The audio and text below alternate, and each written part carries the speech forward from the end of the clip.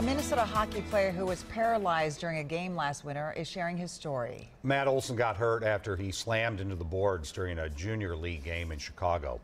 He lost feeling from the chest down. WCCO's Kate Raddatz sat down with Matt to talk about his road to recovery and adjusting to a new kind of normal. Everything just felt so tingly inside. and- Matt Olson remembers falling onto the ice on February 21st and trying to get up. Yeah, first thing I tried to do was trying to move, and I knew right away I couldn't move. In an instant, the 20 year old was paralyzed from the chest down. After immediate surgery at a Chicago hospital, he couldn't speak for seven weeks. His family stayed by his side. It's like your worst nightmare. I wanted to comfort him and let him know that we were there. Since then, he stayed at the Mayo Clinic and now the Courage Kenny Rehabilitation Institute in Golden Valley.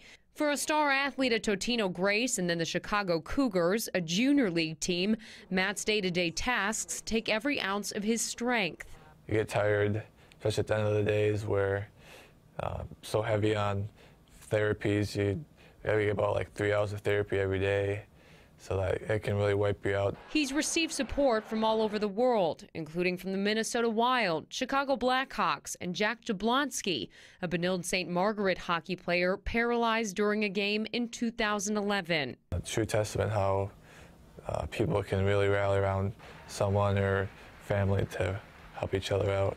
Matt says there are good and bad days to life in a wheelchair, To turn either way, I just lean on one of the side pads. but ask him about his dreams, like going to college. That answer is easy.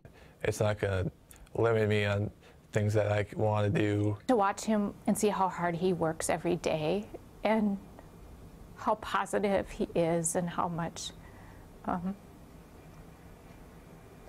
he gives us strength and inspiration. Kate Raddatz, WCCO 4 News.